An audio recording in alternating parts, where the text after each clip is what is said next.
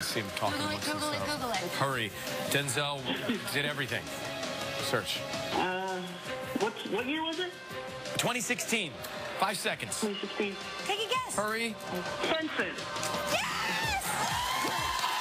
Congratulations, you and a guest will enjoy seven days and six nights at the Fairmont Mayakoba Resort on the Riviera Maya in Mexico. The magic of the Mayan culture intertwines with world-class facilities at the AAA Five Diamond and Rainforest Alliance Verified Resort.